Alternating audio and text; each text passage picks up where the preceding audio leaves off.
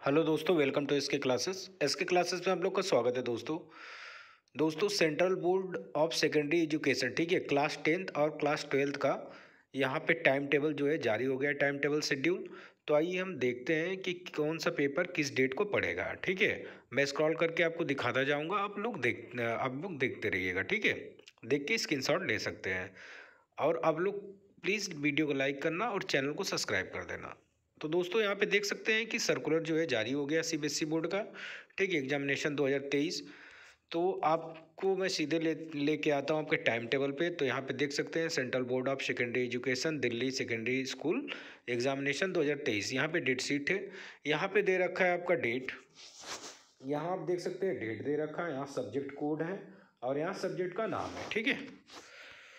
तो आप यहाँ पे देख सकते हैं वेडनेसडे और फिफ्थ जो है कि फिफ्टींथ फेब से जो है पेपर स्टार्ट है और इसे यहाँ पे टाइमिंग भी दे रखा है। आप अपने सब्जेक्ट के हिसाब से अपना देख सकते हैं, ठीक है कि आपका पेपर कब है, ठीक?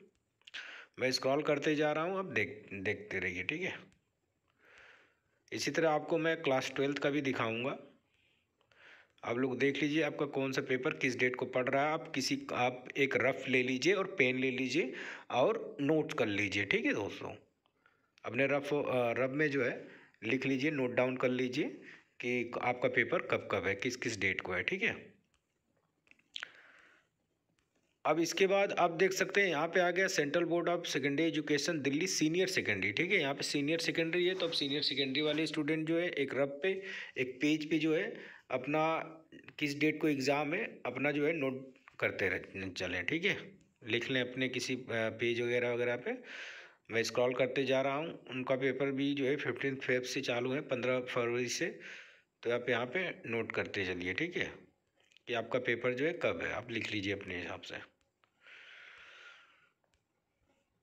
और वीडियो को लाइक करना, चैनल को सब्सक्राइब भी कर देना।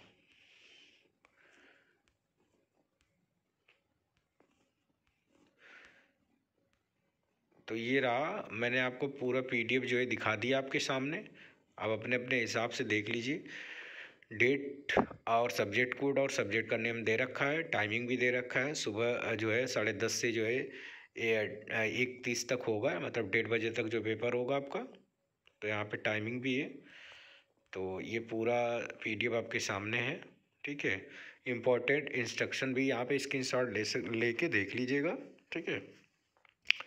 तो आई होप आप लोग को समझ में आ गया होगा तो आप लोग प्लीज़ अपना जो है कि कौन सा पेपर किस डेट पे होगा, आप एक कॉपी लेके उस पर लिख लीजिएगा, ठीक? इसी के साथ वीडियो को समाप्त करता हूँ। जय हिंद दोस्तों, जय भारत।